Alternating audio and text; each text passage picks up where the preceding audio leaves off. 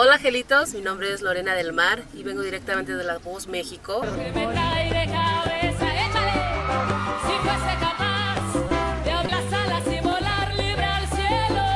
Y. Y estaremos el día de hoy en la cabaña del abuelo, aquí en Tlapa de Comonfort. Los espero.